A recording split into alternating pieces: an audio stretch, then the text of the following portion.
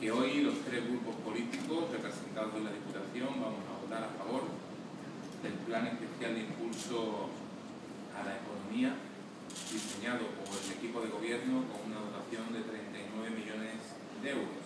Creo que eso es el primer dato importante que tengo que trasladar.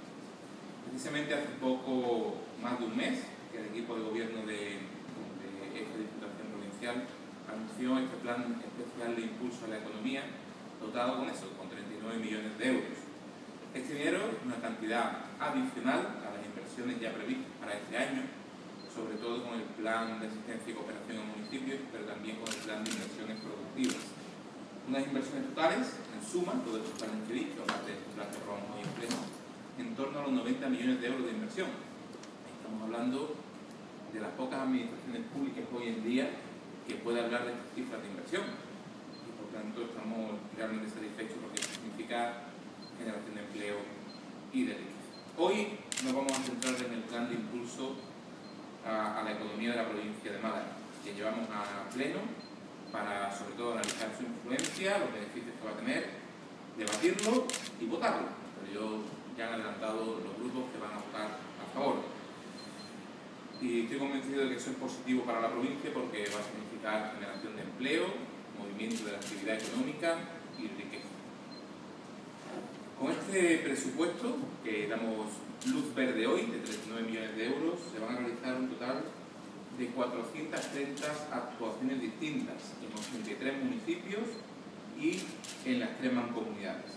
Prevemos una generación de 1.500 puestos de trabajo directos en la provincia y además el impacto económico general puede ser superior a los 100 millones de euros. La Diputación trabaja para esto, todo lo que hace, todos los proyectos que llevamos a cabo se orientan sin ninguna duda a mejorar la economía local.